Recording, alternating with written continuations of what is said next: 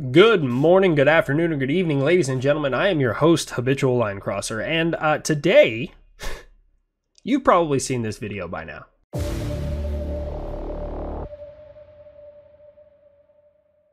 So, it is my goal to give you guys the information and let you make this decision for yourself. Uh, first off, I want to give a shout out to our sponsor, Ariel Resupply Coffee. The link in my bio gets you 10% off. They have flavors like 15W40, Moab, and my personal favorite, Firewatch. Remember, stay caffeinated, and it's not just another veteran owned coffee company. It's the coffee company veterans have deserved all along, but it's okay. If you're a civilian, you can have some too. So let's go ahead and look at this video. I was sent uh, on on TikTok, and first off, I love I I love the caption. Right, bye bye Patriot. Kinzhal works better. Right, uh, the, the whole thing. Um, this is obviously done by somebody who who kind of has a um, a narrative, right? Um, now, I will tell you right now, there is no way that I can definitively give you all the variables, right? There's there's no given the information and the reference I have here. But what I can do is I can explain how some of these processes work so that way you can make the decisions for yourself. Um, there's going to be Russian fanboys in my comment section who say, "Well, who's this guy? He doesn't know what he's talking about." I I learned about a Kinzhal a week ago on Wikipedia, and I know what I'm talking about. So let me go ahead and give you uh, my rap sheet a little bit. Right, I've been an air defender since 2012. I enlisted in 2009 as a 19 kilo, reclassed in 2012. Um, I was the RSOP NCOIC in Korea, which was uh, reconnaissance, selection, and occupation of position. I then got back here to Fort Sill, kind of spun my wheels for a little while, but then I got thrown into the AMG crew chief spot. A- and AMG is the antenna mast group on the Patriot system. I broke the 30 second double AMDC record for the fastest plus four time. I then was stuck in the van on crew three as the CSO. CSO is a communication systems operator. I quickly became the most um, the highest scoring communication systems operator in my battalion. I then certified as a TCA in nine days. Um, that's just so you guys know, TCA is a tactical control assistant, and that train up usually takes around six months. I took the position in nine days, and then three months after that nine day certification, I became the highest scoring TCA in my battalion. The day I pinned staff sergeant, I was thrown into a battery master uh, master gunner position. I was the battery trainer, uh, which is also an E7 position, and then I trained my crews from start to finish. And I had the first three crews in my battalion to pass table eight, and I had the only three crews in my battalion who passed the SPEAR. SPEAR stands for Standardized Patriot Evaluation and Assessment of Readiness. Um, it's one of the evaluations we have to go through. I've written air battles. I have fought air battles. I have written documentation or doctrine on some of these things. I have helped rewrite TTPs. I spent four years at the Air Missile Defense Test Detachment. I am the first soldier in history who's engaged and destroyed targets using the Integrated Air Missile Defense Battle Command System. I did it in Jan, or excuse me, December of 2019, and I currently teach Patriot at the senior leader level. So now that I am done slapping my resume across you Russian fanboys' faces, let's go ahead and get into this.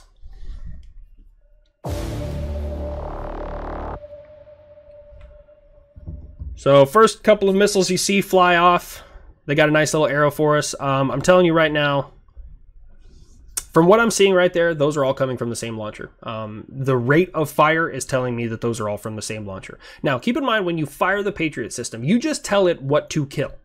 Okay. Now, don't don't freak out there.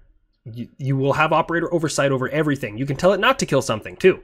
Um, you just tell it what to kill. The system then, through a myriad of background processes and pre-planned responses and things that we call FIDOC, which stands for firing doctrine, which is a series of selections and processes you make inside the system to get you the highest probability of kill or PK on a target.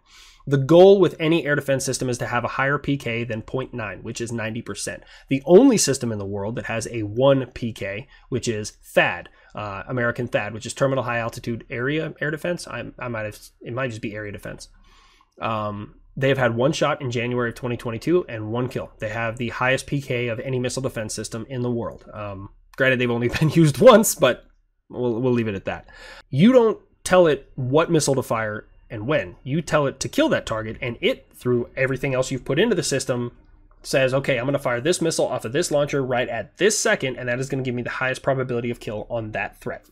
So, anyone saying, like especially the, the one of the first things that I ran into with this video is they're firing more missiles than we fired targets. That's physically impossible. Okay. I can't say it's physically impossible because you can make a fake target in the system and shoot at it. But it takes a while. You have to override a bunch of shit And you're not going to do that in the middle of a fight. So the only way to fire Patriot is when it detects something, or you fake it into thinking it's it's detecting something. So therein, that entire argument falls apart. You can't fire it at nothing. I can't just say, I want my missile to go up into the air right here. You can't do it. It's physically impossible. The system will not let you do it. You have to hook a track. You have to fire it at something. Okay? So there's that. Let's continue. I, I love the intense music.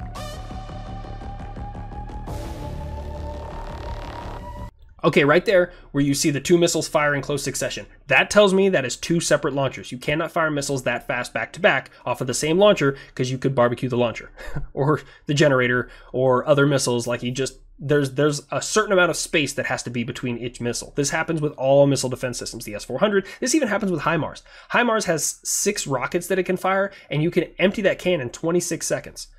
So there's a little bit of space between each one of the rockets. Keep that in mind. All right, let's continue.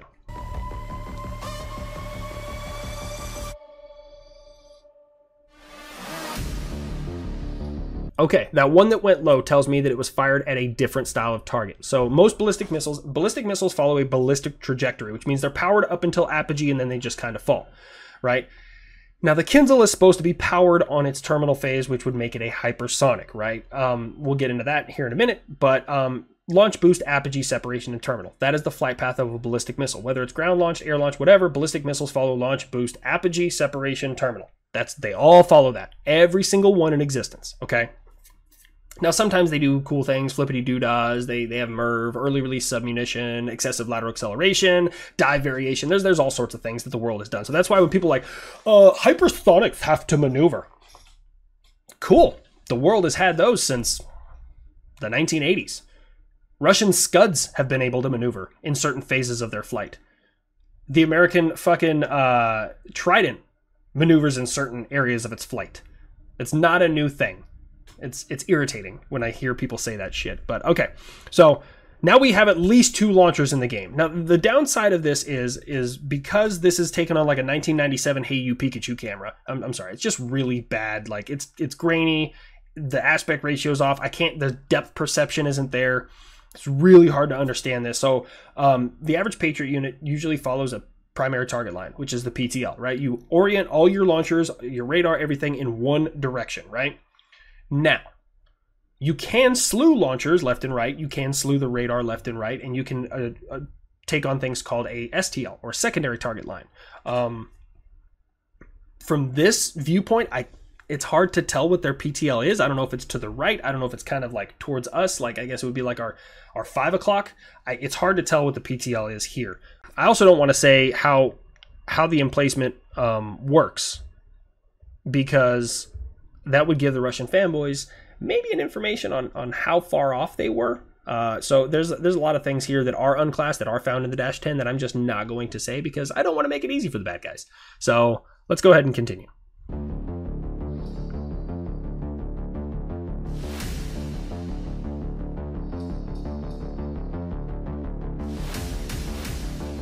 Now we're getting some more launchers in the fight.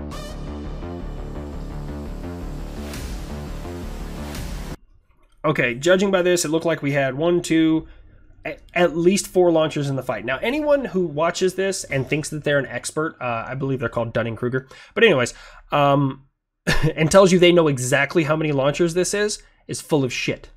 I'm telling you right now, they are absolutely full of shit. If they can tell you, if they're saying there, well, these are these type of missiles that are fired, you cannot tell from this position. You can't. It's physically fucking impossible. Okay, I can't tell you what type of interceptors these are. I don't know what type of interceptors they are. Okay.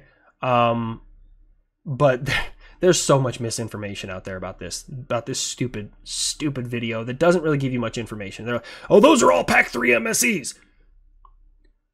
The Ukrainians didn't get MSEs because MSEs provide no fucking extra ability for them. An MSE is a missile segment enhancement missile okay? And it is designed to bridge the gap between THAAD and Patriot because THAAD can only shoot so low and Patriot can only shoot so high. MSE missiles bridge that gap. If you don't have THAAD, there is no fucking gap. Jesus Christ. There was a lady on Twitter. I got I, I got tagged or not tagged because I don't do Twitter, but like someone sent me a Twitter and this woman was going. It was like an 11 part tweet, and she's like, "This is a PAC three CRI." Bullshit. Bull fucking shit. I could go right now. I know a master gunner who was a 14 Tango, and if I walked him over to two canisters and one of them was a PAC 3 and the other one was a PAC 3 CRI, there is no physical way aside from the data plate to tell the difference between those two types of missiles. Even if they flew out, there is no way to tell the fucking difference. The difference CRI stands for cost reduction initiative. Some of the guts is cheaper in a CRI than it is in a regular PAC 3. That's all it is. That is the only fucking difference. All the fucking like the dude on uh what is that? The Zohan, Sony guts. Like that's the only difference. Is the guts are a little bit different. Uh so all right, let's continue.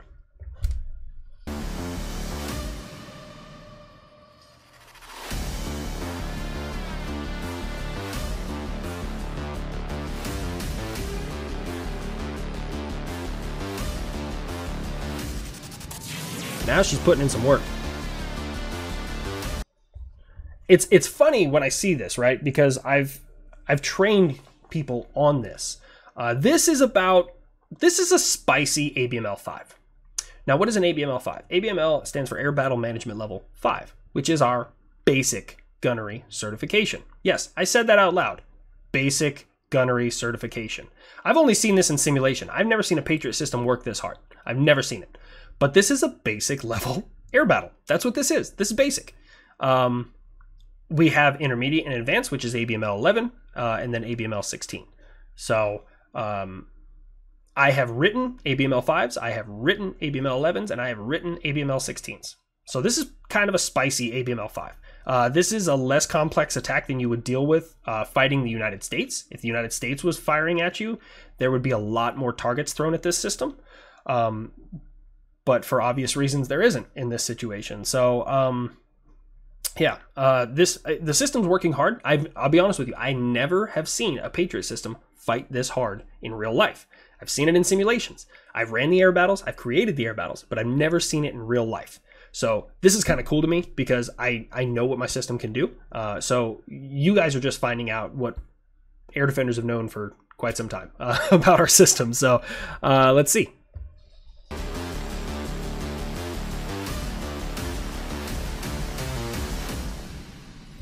Okay, so this video right here, I can already tell, is designed to be intentionally deceptive. So they were panned in. You see the, the building right there with the red lights on it. You saw a majority of the missiles coming from behind the building that is to the left of that. That is where the majority of the missiles were coming from. Maybe a little bit further left to the next building over, but not very far, okay? Again, we don't know how far away this system is. I have no idea. There is a minimum tolerance that you can have your launchers away from each other. People are like, well, what if they put them all right on top of each other? No, you can't do that. There's a backblast on a Patriot launcher.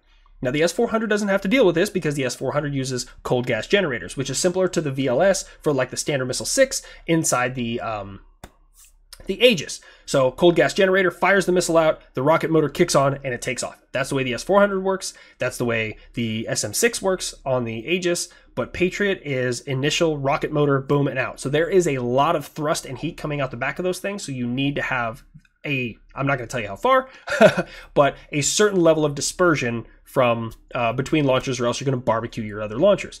The same goes for the radar. You have to be a certain amount of dis- distance from the radar. There is a radiation hazard zone from the radar. It's it's not bad. I mean, it just you taste pennies and it feels like every cell in your body is dancing. Yeah, I've been irradiated a few times. And then you only have girls. That's the Patriot curse, by the way. Uh, if you get irradiated by the Patriot radar, you will have nothing but girls. Uh, you will never have any boys for some reason. I don't know. It's the Patriot curse. That's what we call it.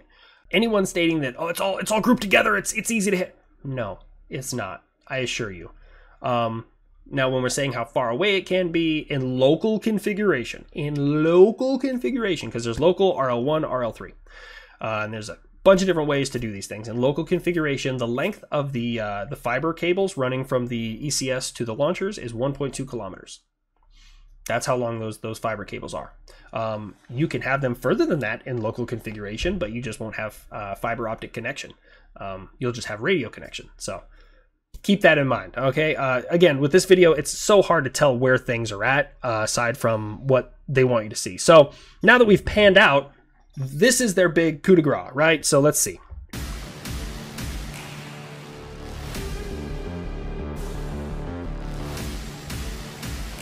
Okay, so we see an explosion. We do. We see an explosion, um, and it says it's the first hit. Now, now here's the thing. This is why it's so funny to watch Ruskies contradict themselves.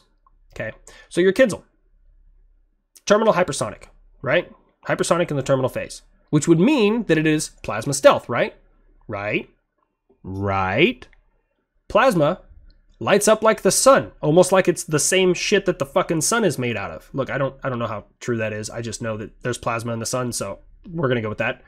You can visibly like see plasma on a plasma stealth object. And I don't like using plasma stealth because plasma stealth hasn't existed for years. If you're using a phased array radar, plasma stealth doesn't exist to you.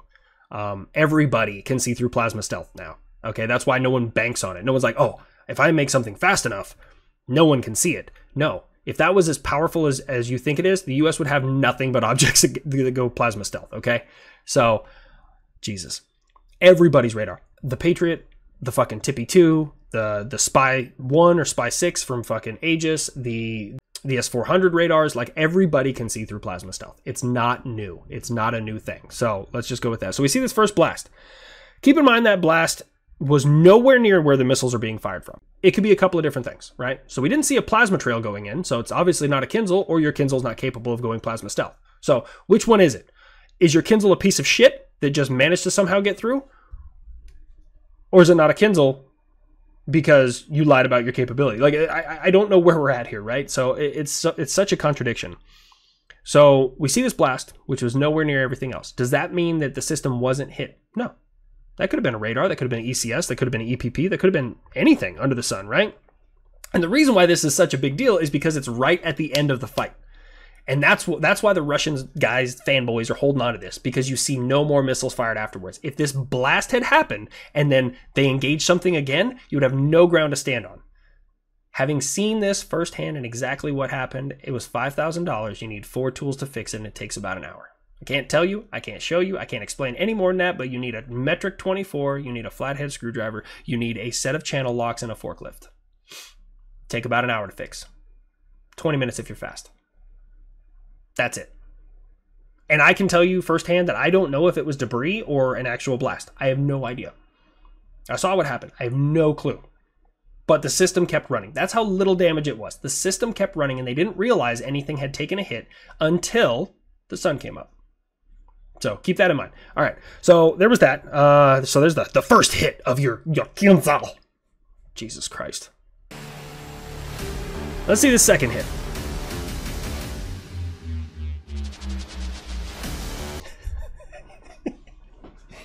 he just sees a little like way off in the distance. Are like, that was the second hit. That was it. That was that was the one.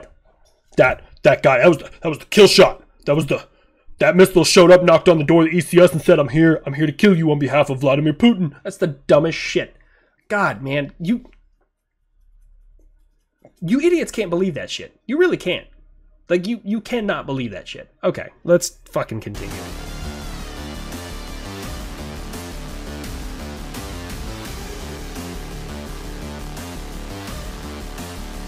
and I guess that's it. There's there's nothing else. They just have intense music. There there there's nothing else. So you know what's crazy is when the Patriot system gets hit. We see a grainy video of a flash in the distance. That's what we get. But when the S400 is hit, we get to see a shredded fucking command whatever vehicle uh, that was just rocked by GMLRS. GMLRS is the, uh, the, the alternate warhead. It's like 161,000 tungsten BBs, and it spreads out over like 50 meters, and it just fucks shit up.